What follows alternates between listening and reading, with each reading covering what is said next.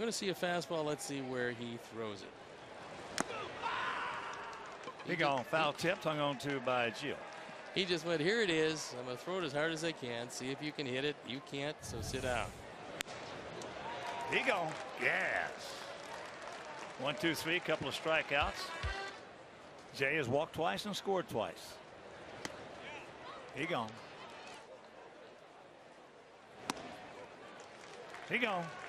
Strikes out the side. He now has five strikeouts in his two innings of work. Michael is uh, obviously a very extreme, intriguing prospect. You see a little nasty uh, slider plus velo up in the zone. These guys are having trouble catching up with, and uh, even mixing a couple of decent changeups today.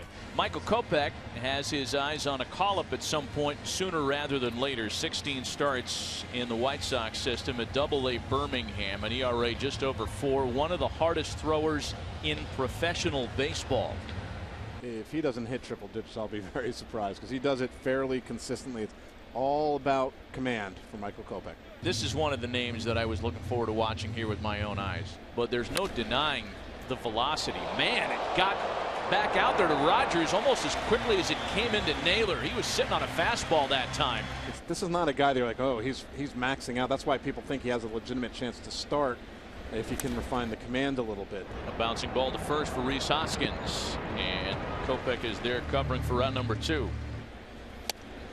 Now he's out. At 101, Michael Kopech, as advertised, breezing through the World All-Stars. And behind the bag, here's a changeup on 0-2. Swung on and missed. It is in the dirt, picked up by catcher. And Kopech's 2-2 pitch. Strike three call right over the middle of the plate. One and two. Swing and a miss, strike three. Now the wind and the 0-2. Swing and a miss, strike three. See it. Again, the one and two. Swing and a miss, strike three. See it.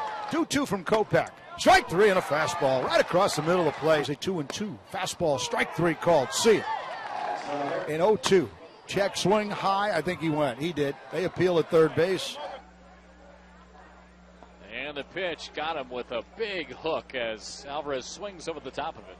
And it's the fourth double digit strikeout performance of the year for Kopech. As I mentioned, 10 against Jackson April 8th, 10 against Chattanooga May 31st, 12 against Chattanooga on July 26th, and now 10 against Jacksonville on August the 5th. Kopech into the windup 1 2.